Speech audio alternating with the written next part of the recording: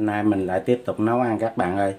Thì à, mình sẽ làm cái món là đậu hũ kho nấm rơm nha các bạn. Thì mình có chuẩn bị đây là đậu hũ nè các bạn. Đây là đậu hũ mình mua đậu hũ uh, viên của người ta chiên sẵn vậy đó các bạn. Còn đây là nấm rơm. Một củ cải trắng và ngò rí hành gia vị thì ờ, cũng thông thường. Đây là đường muối ớt sấy ờ, các bạn. Đây là bột ngọt và củ hành tím mình đã băm sẵn.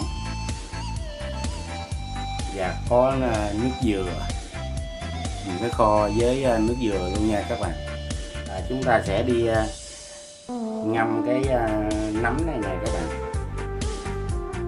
Nấm này mình mua về cắt cái ờ, gọt cái đất rồi nè, gọt đất đen nè. Và mình để ngâm cho nó trắng và giòn. Thì chúng ta sử dụng là bột bắp nha các bạn.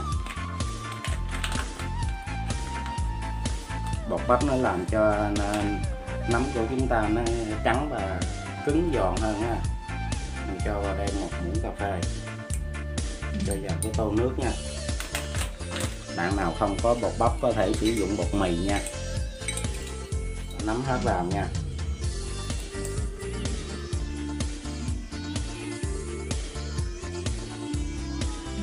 Chúng ta sẽ ngâm trong đây là 15 phút, bạn cho cái ờ, nấm của mình nè, mấy cái đầu đen này các bạn, nó sẽ trắng nha các bạn. Và bước tiếp theo thì mình đi ờ, sắc củ cải trắng ra nha các bạn.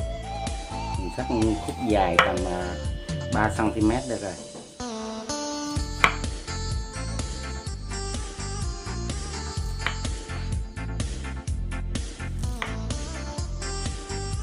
Bẻ đôi ra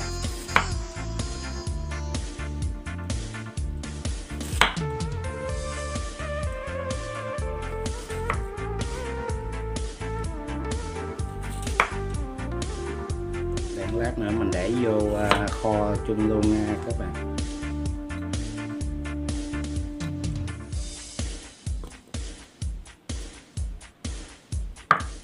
Củ cải mình đã sắc xong bây giờ mình cắt cái góc hành này ra, mình thấy cái ờ, góc hành. Cộng lá mình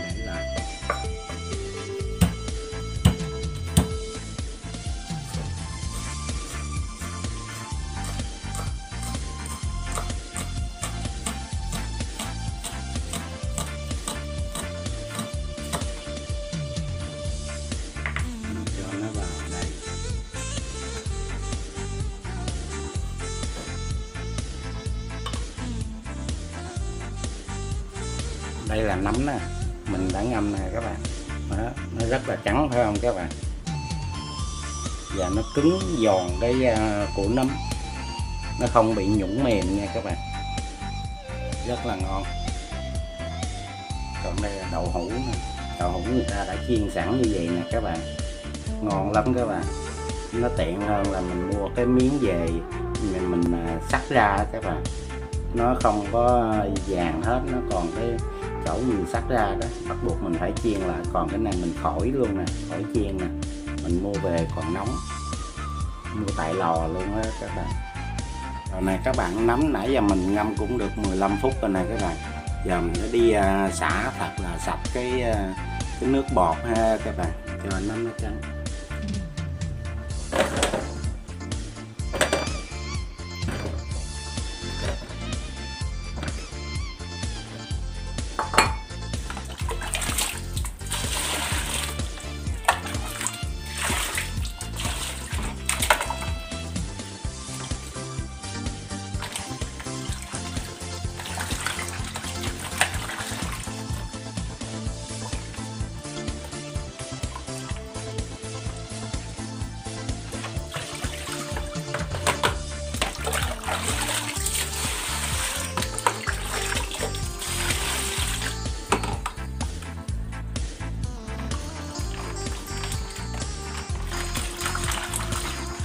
bây giờ mình sẽ đi ờ, chẻ cái ờ, củ nấm này ra nha các bạn. Nấm này là cũng mình lựa vừa ăn là mình không có chẻ đôi mà mình, mình chẻ cho nó có cái ờ, chưa thập trên này nè các bạn.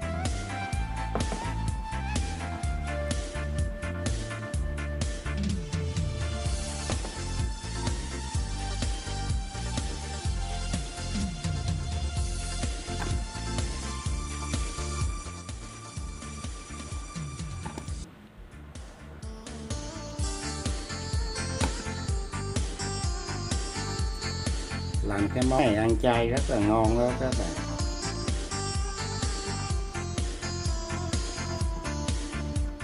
Rồi các bạn nấm mình đã gọt xong rồi các bạn. Giờ mình à, ướp vào đây cho nó đường nha các bạn, cho nó thấm ngon nha. Vào đây cho nó hai muỗng cà phê đường. Rồi mình cũng à, cho củ cải trắng vào đây luôn nha các bạn. Mình ướp chung luôn cho nó thấm ờ, ngọt nha các bạn.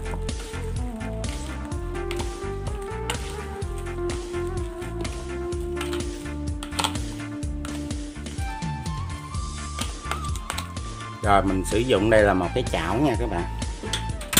Mở lửa lên.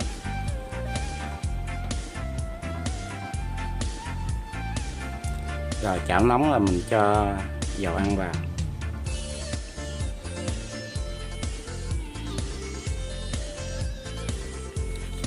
Mình sẽ cho vào đây một chút xíu đường, nửa muỗng cà phê đường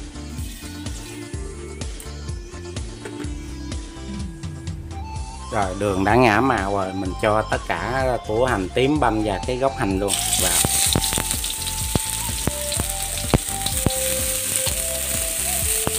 Mình phi cho thơm nha các bạn. Rồi, nó đã thơm rồi, giờ mình à, tắt lửa nha. Bây giờ mình sẽ làm nước sốt mình cho vào đây một muỗng dầu hào. Mình cho vào đây một muỗng tương ớt luôn.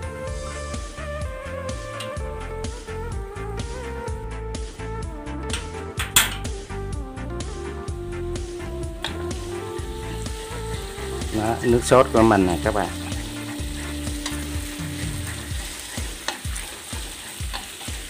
Mình sẽ cho nước dừa vào nha các bạn.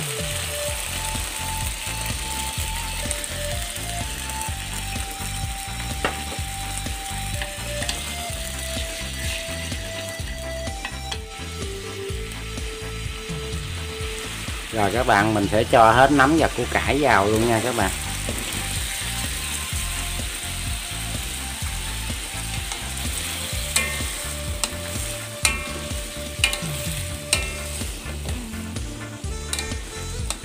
Cho đường nó thấm à, gia vị nó thấm vào trong à, củ nấm á.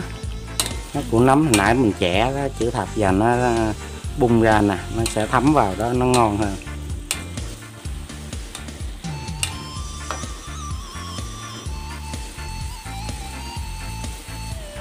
Rồi nó đã sôi trở lại nhiều rồi, các bạn, giờ mình cho hết cái phần tàu hũ vào nha các bạn.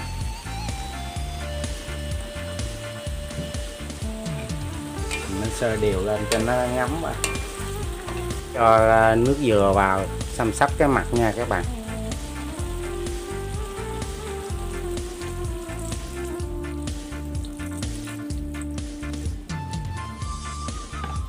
Rất là thơm.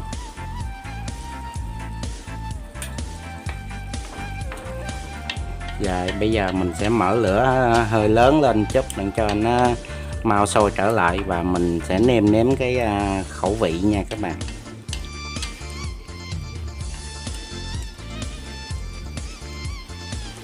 Bây giờ nó đã sôi trở lại nè các bạn. Mình cho vào đây chút xíu nước tương nha các bạn. Một muỗng canh tương.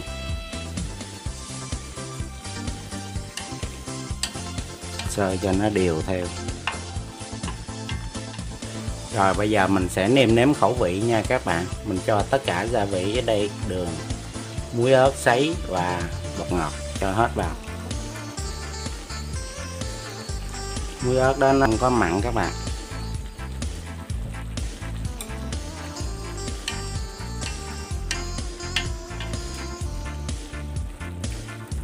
Có muối ớt đó tăng cường thêm cái độ thơm của nó muối ớt đó ăn chay được nha các bạn, không phải muối tôm nha các bạn.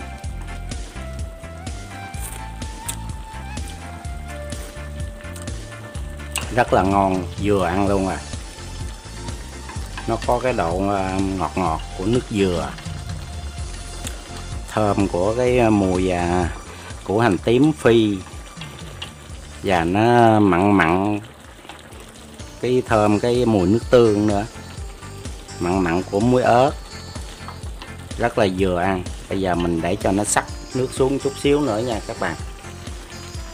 Bạn giờ mình cho hành lá vào nha các bạn. Cho nó thơm.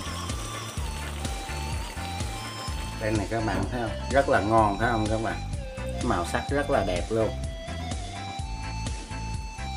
Rồi bây giờ mình sẽ cho ra dĩa và thưởng thức thôi nha các bạn. Rồi mình sẽ cho nó ra dĩa các bạn ơi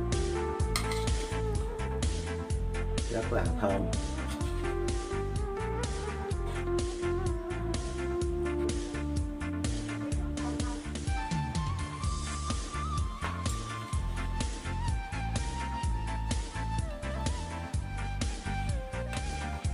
Rất là ngon phải không các bạn?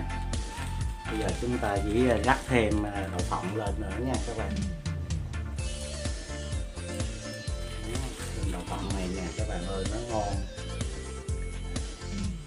Rất là ngon. Bây giờ chúng ta sẽ thưởng thức thử thôi nha các bạn.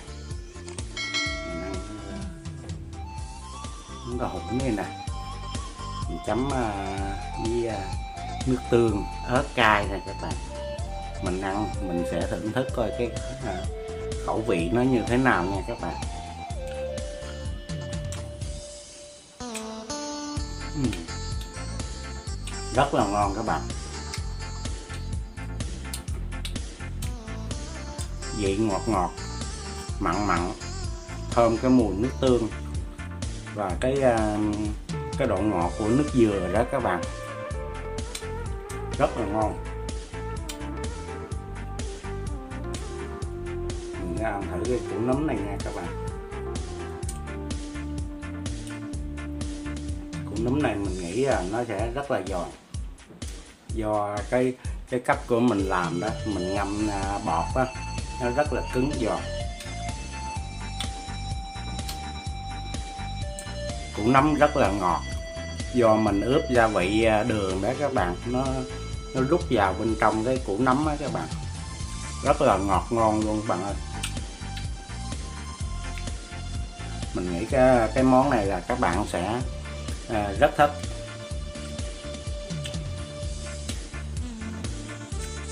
Ăn cái miếng đậu phộng nó rất là thơm bùi luôn á các bạn.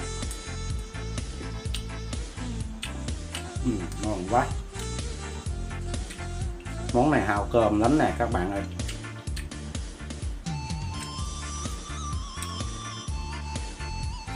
Rồi vậy là cái video làm cái món à, món chay là đậu hũ kho nấm rơm và nước dừa của mình đến đây cũng đã xong rồi nha các bạn. Các bạn thấy video này hay, thì hãy cho mình à, một like và cho mình một cái à, comment à, bên dưới video để mình nhận ý kiến từ các bạn nha. Các bạn và hãy đăng ký kênh ủng hộ cho mình để mình được phát triển thêm nhiều nha các bạn. Rồi, cảm ơn các bạn rất nhiều. Hẹn lại những video sau nha.